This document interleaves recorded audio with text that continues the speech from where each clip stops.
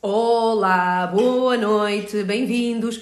Boa, que dia é hoje? Terça-feira. Isto a pessoa vai perdendo o rastro dos dias. Sejam bem-vindos a mais uma conversa aqui no Instagram da Renascença.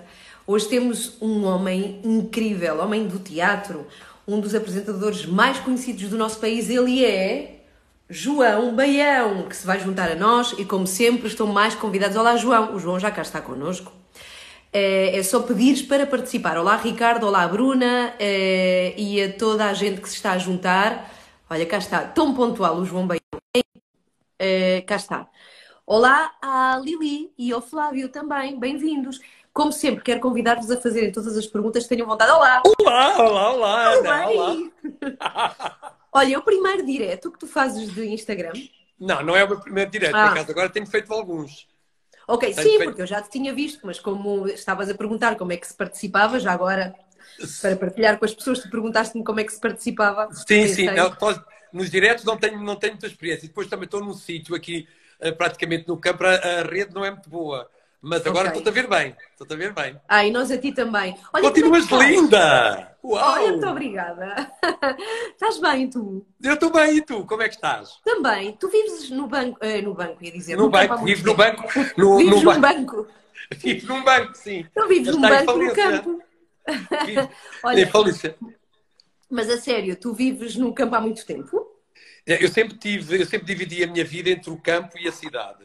Mas uh, a partir do momento em que consegui uh, reorganizar-me em termos de horários por causa do trabalho, achei que ter duas casas é uma despesa, dá muito trabalho e então uh, acabo por não usufruir nem uma coisa nem de outra e acabo por acabei por estabelecer-me como é aqui perto, de, é que é perto de Alenquer, é perto de Lisboa, dá perfeitamente, eu adoro conduzir, portanto, e é muito mais prático, é muito mais barato também e acabo por estar mais perto uh, da minha vida que está aqui, os meus animais, tudo isso é muito mais fácil. Pois é, tu, tu, tens, e tens mostrado, tu tens, ou pelo menos tiveste muitos animais, mas vives rodeado de animais. Mas já lá vamos. Olha, devo dizer que a minha mãe é super fã tua. Aliás, Portugal é teu fã, eu, a sério. É, Manda um grande parte... beijinho à tua mãe. Mas espera, ela faz uma pergunta e eu não queria deixar de a fazer. Ah, tá bem, tá ela pergunta-te, olha, e é a primeira vez, olha, que eu faço diretos aqui todos os dias desde que o isolamento começou e começámos a fazer estes diretos às nove. Eu acho que é a primeira vez que ela participa, a primeira, ah. juro-te.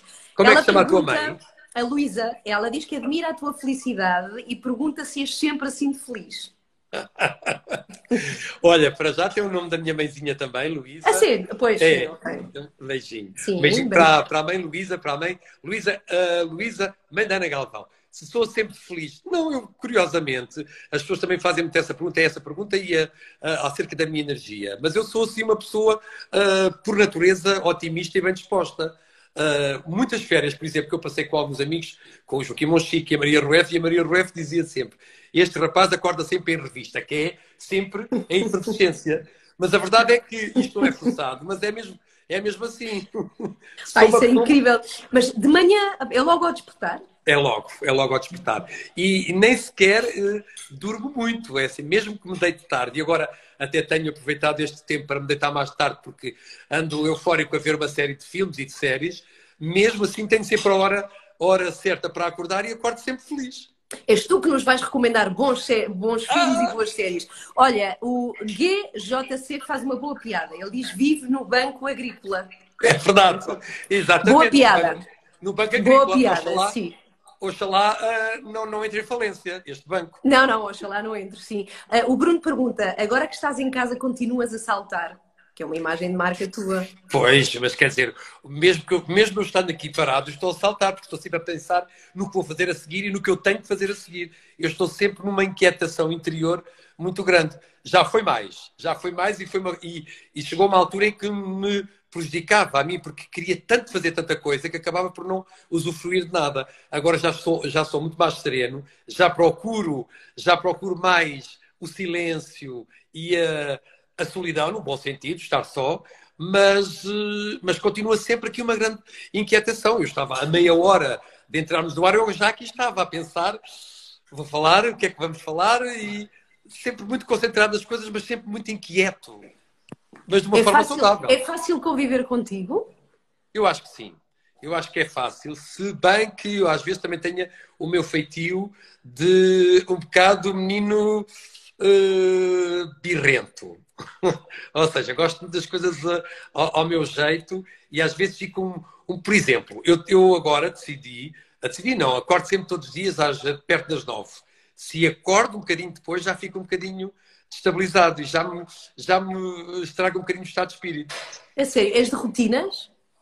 Sou de, sou de rotinas, embora não gosto de, de as fixar nem de as calcificar, mas gosto muito do meu, gosto muito de pensar ou de organizar mentalmente o que vou fazer no dia a seguir. Sou muito metódico, isso sou. Odeio, odeio o caos, odeio a desorganização. Odeio as coisas, por exemplo, inesperadas. Estavas a contar em ir para aqui e à última da hora foste para ali.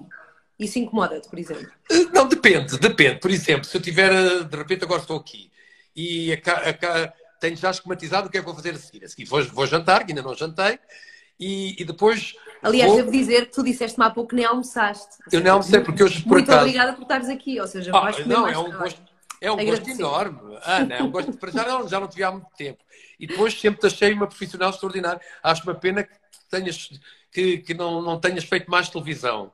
Ah, mas uh, sou muito feliz na rádio. Sou, eu sou sei, verdadeiramente mas, feliz na rádio. Mas nós podemos ser felizes a fazer várias coisas. É Aliás, é verdade, tens razão. Tens razão. Eu já fiz rádio e tenho projetos de voltar à rádio e é, e é uma forma de comunicar completamente diferente. Eu quando ouvi as agora desviando um bocado do assunto, eu quando ouvi os profissionais de rádio a dizer que comunicar em rádio não tem nada a ver com televisão, e de facto é verdade. Eu fiz rádio durante algum tempo e é uma outra forma de comunicar e gosto, gosto bastante. Mas dizia teu, se Sim. já tenho esquematizado o que é que vou fazer a seguir do resto da noite, mas se viessem aqui seduzir para uma coisa diferente, agora não podemos, temos de estar em casa. Uh, se fosse uma coisa que me agradasse, não, não me preocupava muito, percebes? Mas não é nesse aspecto, é no aspecto de teres tudo organizado para uma coisa acontecer. Para Sim. a acontecer. E à última da hora acontece qualquer coisa que estraga os planos completamente. Se for uma coisa desagradável, obviamente que fico, fico Pronto, triste. Claro que sim. Mas se for uma coisa agradável, não. Pronto. Uh, Belar Minovs, já agora, muito obrigada por estarem aqui connosco. A toda a Ai, tanto, está. Olá, a Teresa, que diz que gosta muito dos teus animais. A Luizinha uh, Barbosa. Belar Minovs pergunta como treinas logo de manhã? Como treino? Uh, pois tem que ser. Tem que ser. Ainda por cima, neste tempo de confinamento, uma pessoa come mais um bocadinho e no campo come-se muita torradinha, muito pão e também algum, algum excesso de açúcar e então tem que, tem que fazer. Mas é ótimo porque na minha vida normal só tenho tempo mais ou menos duas, três vezes por semana. E agora tenho feito todos os dias, o que é ótimo. Mas o que é que fazes? Eu faço cardio okay. e faço cardio e, e, corro e faço alguns exercícios de uh, trabalho alguns músculos. É, quanto tempo? Dedica? Uma hora e tal. Uma, uma hora, e tal. tal. Ok. Porque é assim, é, como faço todos os dias, uh, uh, uh, obriga-me, obriga-me não, uh, satisfaz-me o facto de não ser um treino muito intenso, percebes? Se, se fizeres mesmo ao fim de semana, são 7 horas por semana, não está mal. A Andreia diz que o filho dela tem 9 anos e que adora ver-te. Ah, que é... ah, Beijinho, Andreia. Nifty, é a pergunta, eu acho que é uma das perguntas que mais te fazem, que é pelo macaco Adriano. De facto é impressionante como uma pessoa que nunca soubemos quem era ficou tão, não é? Tão, tão gravada na nossa memória. E o que é incrível é que a primeira vez que o Ediberto Lima, produtor e realizador do Big Show, me falou na ideia de pôr um macaco, eu disse, oh, Ediberto, eu não sei se isso vai ser boa ideia, não sei se... Porque já, se calhar, o programa já é muito exuberante, já tem muita cor, já tem muita coisa. Aqui mais um macaco, que é um boneco, e a verdade, Ana, é que foi um êxito, aliás. Ainda hoje se fala do macaco de Adriano. E as pessoas não fazem a mínima ideia. Quando quando fizemos espetáculos pelo país ao vivo, houve uma altura do programa em que tínhamos uma rubrica que era cidade contra cidade. E em alguns espetáculos em que se apuravam os melhores da cidade para irem, a seleção, para ir ao programa, fazer em direto, eh, eu e o Macaco éramos convidados a participar. Não imaginam as pessoas a loucura que era. Eu uma vez lembro-me que tivemos que sair, porque estávamos a fazer um espetáculo num pavilhão e de repente, quando entra o Macaco Adriano, sai tudo das bancadas e vem tudo para o meio da arena.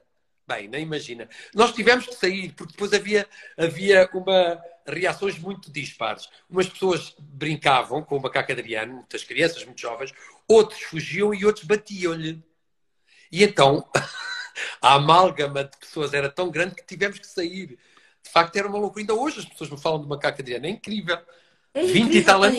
Era sempre a mesma pessoa? Era sempre a mesma pessoa. Era, sempre, era uma pessoa lá da, da, da produção do Ediverto sim, que sim, estava sim, lá desde o início e que era muito divertido, também era brasileiro, era muito divertido e, e cumprimentava-me sempre, dizia João Baião, você é isto, isso, e um dia foi ele que foi fazer o macaco e ficou sempre ele, sempre o mesmo. Bem, mas, mas o que é incrível é que tu, tu começaste por fazer coisas sérias, ou seja, tu arrancas a tua carreira com coisas bem sérias, sim, sim. e não sei Exatamente, quê. Exatamente, Sim, vais fazer o Big Show Sim, que foi uma loucura total e que marcou muito a televisão dos, dos anos 90. Tu tens saudades disso? Eu tenho saudades. Tenho saudades pela ingenuidade com que nós abordávamos o, uh, uh, uh, o programa, porque eu já tinha feito um programa, A Grande Noite, foi assim um dos programas com mais impacto. Depois de ter feito muitas séries de ficção, assim o programa com mais impacto foi A Grande Noite. Uma proposta e um desafio do Filipe Lafera, que era fazer um espetáculo, mais ou menos um espetáculo de revista, todas as semanas um espetáculo novo. Depois veio a loucura do Big Show. Eu tinha feito o... Mas aí o Big Show foi enquanto apresentador. Na Grande Noite eu era um ator. Era o compère da revista e depois tinha várias personagens. Eu já tinha feito uh, na TVI, logo no início, um programa enquanto apresentador, apresentava aqueles programas de, de, hum, ai, de, de apanhados, mas enquanto apresentador, à frente de um, de um programa daquele, com, aquela duração, com uma plateia, foi a primeira vez. E de repente, uh, sem qualquer tipo de preparação, de ensaios, eu, eu vejo-me à frente, de, no meio de uma arena de gente aos gritos, música. Uh, em, em, em, alto som e de repente eu estou ali e foi a forma como eu encontrei foi seguir, seguir aquela loucura toda foi, foi é tu uma. Foste, tu foste, eu estava a pensar há bocado, tu foste muito corajoso porque tu usavas um tipo de linguagem que agora é mais normal, porque os apresentadores, Sim. quanto mais naturais forem, melhor, ou seja, é a maneira de comunicar em 2020. Sim. Mas nos anos 90, aquilo foi completamente. Usavas expressões que nunca ninguém tinha visto na televisão. E era, uma, e era uma postura e uma atitude do programa completamente fora da caixa, não é? De repente, todos os programas eu pareço fantasiado de uma coisa qualquer, não é?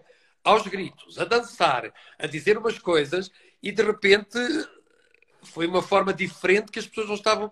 A, a, a mesma forma de, da realização, da posição das câmaras era completamente. A câmara virava ao contrário, tinha planos de baixo. Aquilo foi, um, foi uma pedrada de um charco que, que na altura na altura foi muito criticado e na altura eu fui arrasado de tudo neste país por causa do programa. Até cheguei a ser. Isso incomodou-te ou não? Não te incomodou? Ou incomodou-te? Na altura, quando tu percebes, eh, eh, quando tu estás ainda no meio, sem perceber muito bem como é que funciona esta questão da, das opiniões, das críticas, eh, ferte um bocadinho. Mas depois, quando começas a perceber como é que funciona o mundo da crítica, que é tudo um, um bocadinho a fazer favores a uns e a outros, e, comecei a dar só atenção à, às críticas de pessoas que para mim eram credíveis. Como, por exemplo, fui pela féria que me dizia você está a gritar um bocadinho, por exemplo, ou, ou de outros colegas. Mas quando eu comecei a perceber que aquilo, uh, algumas críticas eram gratuitas, deixei de ligar. Houve uma que me feriu um bocadinho e, e recorri aos tribunais quando um crítico, da altura de uma publicação de uma revista, uh, foi mesmo ofensivo. E eu aí não, não, não admiti mesmo e fui, e fui em frente, fui para as barras de, dos tribunais e acabei por ganhar, mas isso, mas isso depois deixei passar, porque eu aceito críticas sim, de forma honesta uh, e, e, e, com, alguma, com alguma substância. Agora, críticas gratuitas uh, de ofensa só por ofensa isso não posso admitir, porque eu, eu entregava-me aquele trabalho junto àquela equipa de uma forma uh, absolutamente total. Portanto, era um trabalho, há quem goste, goste, quem não goste, não goste. Mas, mas tu, tu devias ir para a cama direto. Aquilo era um sorvedor de energia. Mas a verdade é que acabou por se tornar um dos programas mais vistos de, daquela altura, não é? Eu Isso tenho a ideia que todos víamos, todos víamos.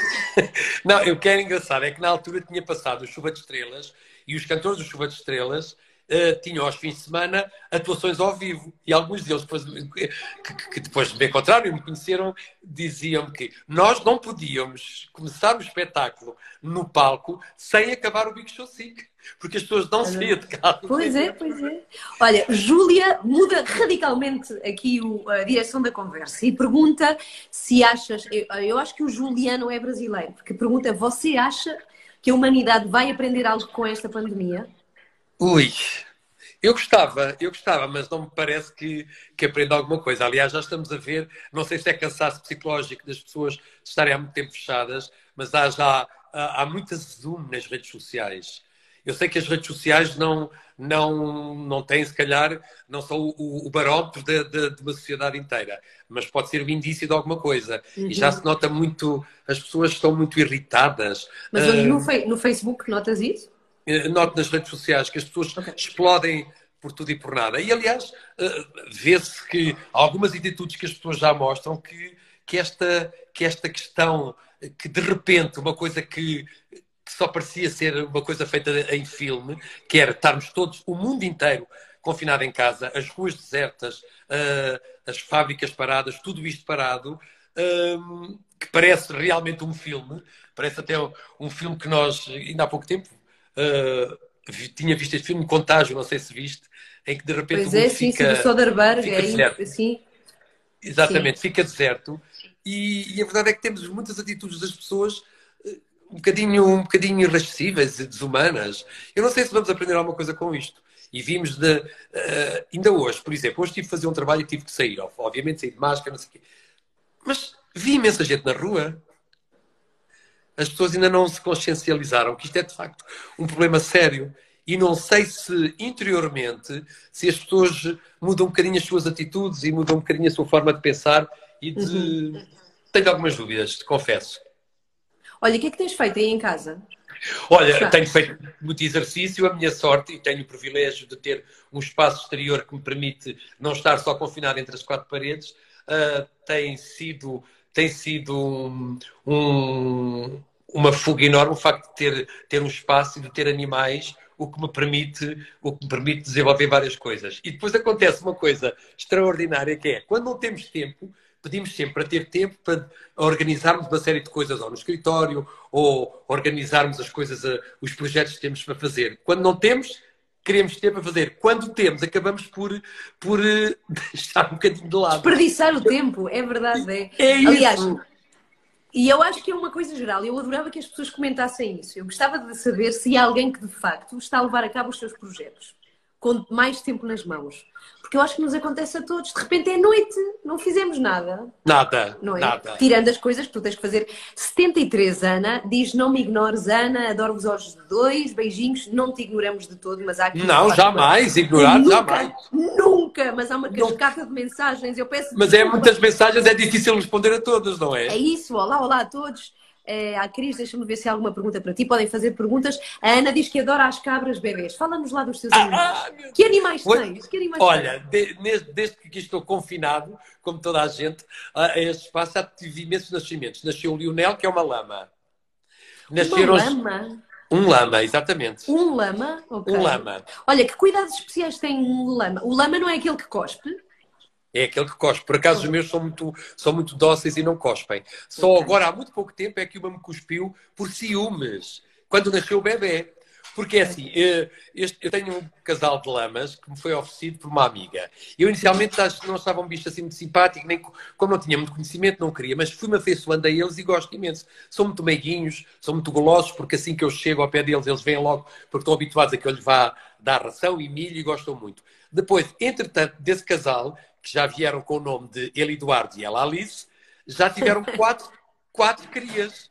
Ok. A primeira é então, a Luísa. Tens seis lamas? Luísa. Tens seis? Sim. Não, não, porque eu não fui, não fui ficando com as crias. Uh, okay. Fiquei com a, a primeira filha, que é a Luísa. Ai, estou okay. a perder. Olha, perdemos o João. Ficaste... Ah, perdemos... Tá, tá. Olha, ah, ok, já estás de volta, estás de volta. Ok. Já estou, já estou, já estou. Uh, fiquei com a Luísa depois, entretanto, nasceu um macho uh, que ofereci e depois o terceiro macho bebê, uh, infelizmente, morreu. E agora nasceu este. Estás-me a ouvir? Incrível. Estou, estou, estou. Olha, são animais altos, não é? E tens ah. lamas ah. e tens mais o quê? Tens cabras? Tenho, tenho cabrinhas que agora nasceram de uma, de uma delas, uma que me ofereceram no aniversário, a Cláudia. nasceu um Tem tudo nome de pessoa. Tem tudo nome de pessoa. Tem tudo é nome de pessoa. Okay. E como cheguei a uma altura que, tinha, que comecei a ter tantos animais que comecei a dar uh, nomes pela inicial da, da, da raça ou do, do, animal que tenho. Por exemplo, cabras okay. começa por C. E então é a Cláudia. e a lama começa por L, isso é que é a Luísa. Ok, ok. Então, e, e tens, não tens cães agora? Tenho, tenho 10 cães. 10? 10. 10? 10. Caramba! Já cheguei a ter 30. Mas agora só tenho 10. Então tens cães, tens cabras, tens lamas, tens gatos? Tenho alpacas. Alpacas? São muito, são muito, é uma são da, alpaca? Eu não- Como é que é uma alpaca? são da família das lamas, mas são mais peludinhas. Ok. São tão lindas. Sim, tenho burros. Espetacular, sim. Fiz, tô- adoro, adoro. Os burros é dos que eu mais gosto. São tão meigos, tão nada burros. Uh, fui uma vez fazer um programa uh, na RT, ainda, na, ainda na RTP, um programa a uma herdade, aqueles programas que fazíamos das vindimas, numa herdade no Sim. Redondo, e ofereceram-me um burrinho, o Jericó. E, entretanto, como o Jericó teve muito tempo sozinho, arranjei agora a Julieta e a Josefina. Opa, espetacular. E eles entram na tua casa. Sabes que o Arnold Schwarzenegger, não sei se já viste, mas é ele tem vídeos incríveis com póneis dentro de casa. Não sei se tu já viste isso. Não vi, mas o... Tem feito muitos agora aqui na- nesta altura. Eles entram em casa, os teus animais ou não? Não, porque eu não tenho a casa do Schwarzenegger, que deve ser uma casa três vezes maior que a minha. Mas Olha- também tenho póneis. Tens! Tenho, tenho três. E agora está para nascer outro. Bem, que incrível! Não, mas o que é incrível nisto, dos- isto de facto, a natureza e os animais, o que é incrível, eu estava a fazer uma peça no Casino Estoril, do Filipe La Féria, e um dia chego, depois de uma matiné, chego a casa, tinha acabado de nascer um pônei. E nasceu, andam logo ali, correr de um lado para o outro. O instinto maternal das, das fêmeas é uma coisa extraordinária. A Mas és tu, proteção. que tratas desse, és tu que tratas disso tudo? Tenho seja, uma pessoa que me animais- ajuda. Ok, não, tenho ok. uma pessoa que me ajuda, porque Tá agora bem. estou aqui em casa e posso, posso estar mais com eles, mas tenho, tenho sempre aqui alguém que, que me trata deles, porque quando estou a gravar, quando estou a, a trabalhar, eles eh, não podem ficar sem, sem comidinha. Olha, pergunta polémica. Bruno eh, tem aqui esta questão. Como respondes a quem diz que a revista é um teatro menor? Respondo que é uma pessoa que não sabe o que é o teatro de revista, porque eh, o teatro de revista, aliás, é dos, dos géneros de teatrais mais completos que, eh, que existe dentro da arte do, do teatro, porque é preciso cantar, é preciso dançar, é preciso representar, é preciso em três ou quatro minutos convencer o público, não só fazê-lo rir nos, nos, nos quadros para rir, como também em 4, 5 minutos ter que fazer acreditar ao público que aquela personagem é humana, é verdadeira e que, tem, e que transmite uma mensagem. E depois devo dizer que eh, há muitos anos atrás, os grandes atores que passaram pelo Nacional, os grandes atores de teatro que deviam ser a fazer parte de- do ensino no conservatório, grandes atores como, por exemplo, José de Castro, Eunice Minhoz e grandes atores, todos eles fizeram teatro de revista. Porque é de facto, um teatro, um teatro uh, um género de teatro muito completo. João Moleira está connosco. Olha o grande cumprimentos. Sim, sim, anda por aqui, anda por aqui. Grande e olha, tens, tens tanta gente eh, a dizer-te coisas muito queridas, muito simpáticas, nomeadamente Ah, muito obrigado a que transmites alegria, que transmites felicidade e energia. Eu acho que é, é o comentário que as pessoas te, te dizem mais. Eh, Sentes-te amado pelas pessoas do meio? Perguntam. Eu sinto, eu sinto-me querido pelas pessoas eh, do meio e também pelo público. Eu, de facto, eh, sinto que as pessoas eh, gostam de mim. Eu também, eu também faço por isso, porque eu acho que sou uma pessoa fácil. Eh, tenho o meu feitio como todos nós, mas eu acho que sou uma pessoa fácil. Gosto, gosto de fomentar e proporcionar o bom, o bom ambiente eh, entre, entre as equipas de trabalho e não só entre a relação, entre a relação de, de cá para lá, porque acho que só assim podemos conseguir alguns resultados. Obviamente que, ao fim destes anos todos, hum, fazendo as contas, acho que em alguns, em alguns momentos podia ter sido um bocadinho mais exigente uh, no meu percurso e na minha, na minha profissão, porque as pessoas às vezes confundem uh, a boa vontade, o facilitismo com, uh, com a falta de respeito. E às vezes pisam um bocadinho o risco e ultrapassam um bocadinho o, o limite do que é o respeito entre as pessoas. As pessoas às vezes não sabem distinguir e pensam que, ah, ele é porreiro, então fazemos. E, e, e perde-se um bocadinho. uh, eu não digo autoridade porque eu não sou autoritário e odeio gente autoritária, gente arrogante, uh, gente em cima do pedestal. Foi uma coisa que nunca, nunca gostei. Mas há, às vezes, por facilitar tanto e disponibilizar-me tanto, as pessoas abusam um bocadinho. E, em alguns aspectos, em algum, não é que viva arrependido com isso, mas em alguns momentos acho que se tivesse, se tivesse levantado um bocadinho mais o dedo e dizer não, não é assim, eu prefiro tinha, tinha sido melhor. Mas uh, não é nada que me, que me machuque ou que tenha um espinho aqui encravado. Ok. A Filipa é. pede para, por favor, mandares um beijinho à Carol, que é a tua fã. Ó oh, Carol, manda. Carol, um grande beijinho, muitas felicidades e cuide-se, Carol, está bem? José Carvalho pergunta se ainda serias capaz de fazer o Big Show Sick. Se houvesse uma, uma série, uma, uma segunda temporada, farias? Eu faria, faria com toda a certeza.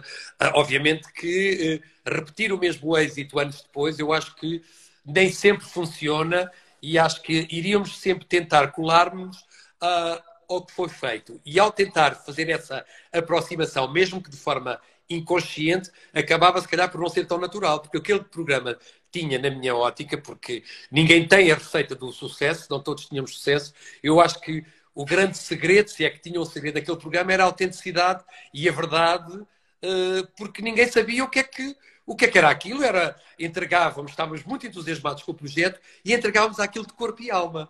E ao tentarmos repetir, estamos já a tentar colar a uma coisa, a uma imagem. E isso deixava de ser, se calhar, tão natural. Mas eu estaria pronto para fazer um Big Show Sick uh, adequado ao século XXI e àquilo que, entretanto, já fizemos em televisão, porque desde essa altura para cá muita coisa mudou em televisão e agora toda a gente grita, muita gente canta e que naquela altura foi um bocadinho, epá, este está aqui, o que é isto? Percebes? Pois é isso que eu digo, foi muito inovador na altura e corajoso da tua parte até. Eh, de Brito, eh, estava aqui a perguntar se vais continuar com a Cristina. A participar ah, no programa da Cristina. É a não Cristina. Sei, é que... Sim, não, eu, eu gostava imenso, porque é assim, aquilo surgiu numa brincadeira, aquilo surgiu num dia em que a Cristina não estava e aquilo foi uma coisa que aconteceu quase de improviso. Eu iria entrar no estúdio e de repente era apanhado e fantasiava-me com as roupas da Cristina e fazia de, de governante ou de empregada. E a coisa aconteceu naturalmente. E porque, e porque eu tenho alguma facilidade de improviso, até porque não sei porquê, porquê, mas eu fiz muitos espetáculos de café-concerto, que é teatro, em cima, nos bares, em cima do público, que me deu algum. algum não sei, eu acho que tem, tem, temos que ter alguma coisinha cá dentro em termos de. de não, não digo que é talento, porque eu não gosto, não gosto de ser isso, mas acho que tenho alguma facilidade no improviso. E isso, naquela, naquele, naquele contexto, ajudou. E, e, e, ficou tão engraçado que de repente a, a, própria Cristina, depois da segunda vez, ai, ah, agora quero que vá lá a Dona Odete, mas eu quero estar presente. Na primeira vez eu não estava presente. E de facto houve aqui uma empatia muito grande, porque a Cristina tem uma grande facilidade, é uma grande comunicadora e tem uma grande facilidade de resposta também e de, de entrar no jogo. E, e foi tão engraçado. e a... as pessoas adoram, as pessoas dizem que adoraram hoje e que te querem ver lá mais. Portanto, é o recado que as pessoas deixam aqui. Eu adoro isso, eu gosto muito disso, mas depois fico, eu tenho sempre o medo de, de. Este foi sempre o meu, o meu calcanhar daquilo ao longo deste percurso todo. Mesmo quando era escoteiro, mesmo quando jogava futebol, mesmo quando treinava ginástica, que é desiludir as pessoas que apostam em mim, que confiam em mim. E tenho sempre muito medo. E, e, e sei que em Portugal nós cansamos sempre muito rapidamente das coisas. Tenho sempre muito medo que depois a, a, a, aquela, aquela, aquela brincadeira cansa as pessoas e eu Sim. prefiro criar, criar saudade e ansiedade do que, ah pá, lá vem isto outra vez, vestido de mulher e não sei o que, percebes? Eu sim, queria, sim, sim, sim eu percebo, sim, sim. E a Cristina também quer e já dissemos que, que, que queremos. O próprio Daniel Oliveira uh, falámos disso, mas eu tenho vivo sempre preocupado de cansar as pessoas. Ok. É, olha, antes de ires embora, porque são nove e meia, e este senhor tem que jantar, tem que comer alguma coisa, que ah, ainda não comeu tô, nada. Tô bem. Queria, e há até pessoas que já perguntavam lá para trás, espero que ainda estejam connosco, que, que hum, deixes uma sugestão do livro, um filme, uma série, para vermos, para vermos. Livro. Olha, Sim. um livro, nunca mais me esqueço, uh, de um livro que o, o, nosso querido saudoso Camacho Costa uh, sugeriu uma vez num programa do Herman, e eu fiquei com aquilo e li o livro e, e já li duas vezes e acho um livro maravilhoso, que é o uh, Faz-me Falta, da Inês okay. Pedrosa.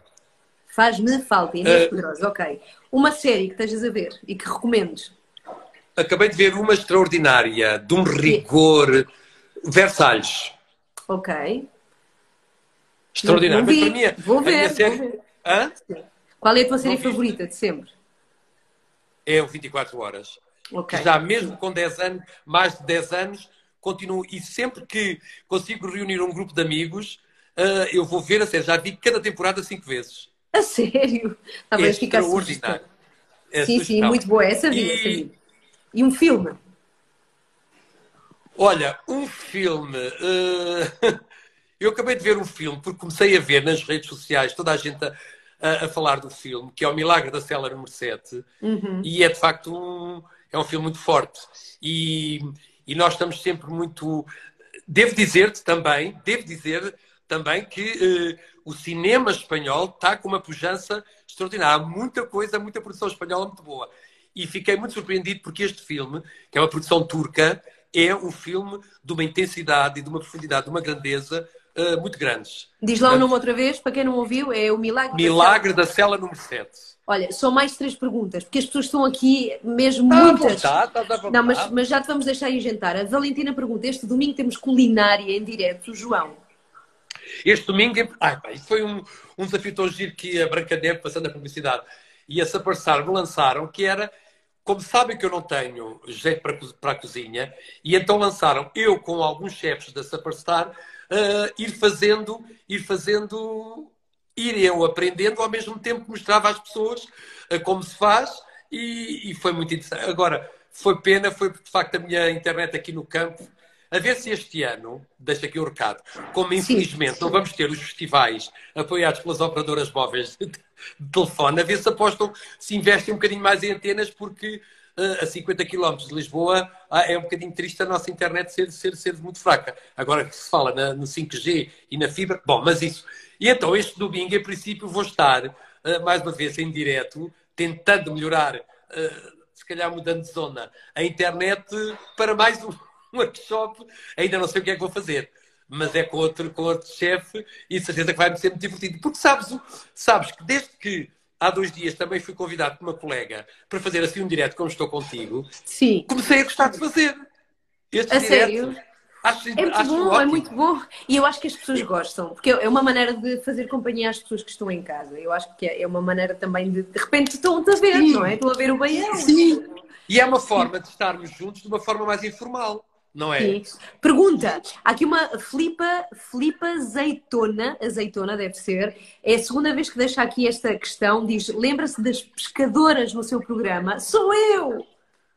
Das pescadoras. Sim, As pescadoras. Sim, deve ter sido no Big Show. Ok, depois ela, a Filipa, pode explicar quem é. Deve ter sido há muito tempo. Obrigada a quem deixou o link do livro da Inês Pedrosa. O Fazes-me Falta que tu. Anda por aqui o link, se tiverem curiosidade. Ah, esse, esse livro é aqui. maravilhoso. Ok, fica aqui também. E há quem pergunte, e deixamos aqui a pergunta para terminar, se tens saudades da Tânia. Ai, tenho, muito, tenho muitas saudades da Tânia. Tenho muitas saudades da Tânia porque não, nós, eu e a Tânia estamos, falamos todos os dias, estamos sempre, estamos sempre juntos. E de facto eh, houve ali uma compatibilidade sem nos conhecermos. Ai, já é uma amiga extraordinária. Ah, é uma está. companheira, aí, uma volta. companheira fantástica, não só como amiga, como mulher, eh, mas também como profissional. Porque eu aprendi muito com, com a Tânia, que eu vinha num registro completamente diferente. E a Tânia tem, tem como é que está muito bem formatada, sem ser formatada, nestas questões da televisão. E ela dizia muito, às vezes, estávamos no direto e nós estávamos com a imagem embaixo, chamada encaixe, e eu estava noutra e ela, João, estás em encaixe, estou em quê? E estes, estes pormenores técnicos eu aprendi muito com, com a Tânia. E- Encaixa assim. não, e ela é. Olha, deixa-me é- apresentar. é- pergunta, há uma pessoa que. Sim. Olha o Jacinto, Viana. Que é, há uma pessoa que pergunta como é que se chama esta senhora que o está a Olha, a? Marcela Marcelino. Galvão, muito Também- boa noite. Olha, para o fim, o que é que vai jantar? que mandou um beijinho. Ai. É amiga tua, estamos a ficar sem rede. Olha, o Jacinto Viana, que também com quem já trabalhei, diz que somos iguais, eu e a Tânia. Ok. Ok. Ok. O que, é que vai, o que é que vai jantar, João? Olha, ainda nem sei, porque eu acabei Pronto. de chegar a casa, vim logo para aqui à tua espera. Gosto da cor do teu cabelo. Olha, muito obrigada. Agradeço-te muito. É, podemos guardar na história, vai ficar guardada na história esta conversa. Muito obrigada a quem esteve connosco. Olha, obrigada, João. Bom jantar. Olha, obrigado, Ana. Gostei muito de estar contigo. Gostei muito de. Eu Continuas adorei, linda. adorei. Gosto, sempre gostei muito de ti. E eu acho que ainda tens lugar na televisão. Tens, com certeza. Obrigada. obrigada. João, mil beijos para ti. Mil beijos. O teu Pedro Tudo está bem? bom. O Pedro está muito Pedro. bem. O Pedro está muito bem. O Pedro anda a estudar à distância. Pois, Como já todas as vi, já crianças do país. Sim, sim, sim. Então, olha, mil beijos. Deixa-me só agradecer a todos que estiveram connosco aqui no Instagram da Renascença. Muito obrigado. Cuidem-se. Uh, as medidas vão aliviar, mas não podemos dar muita confiança. Temos que continuar uh, a manter as devidas distâncias e a proteger-nos. Ana, um beijinho muito grande e continuação beijos. com o trabalho. Beijinhos a todos. Beijinhos. Beijinhos. Adeus, adeus. obrigado, obrigado. Beijinhos.